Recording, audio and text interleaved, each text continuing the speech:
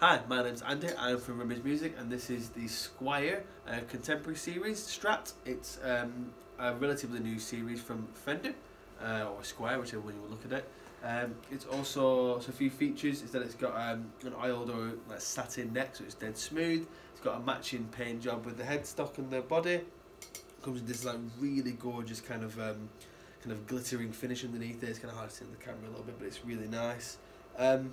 It's got this HSS configuration, which basically means it's got a humbucker in it for anyone who doesn't know, and it's got a 12 uh, inch radius across the uh, fingerboard, so it's super flat. This thing's built for playing really nice, really quick music. So I'm just going to go through a few of the uh, different sounds of the pickups. There's quite a lot to go over, so I'm just going to do a little bit of each one so you get to hear a general idea of each um, individual pickup.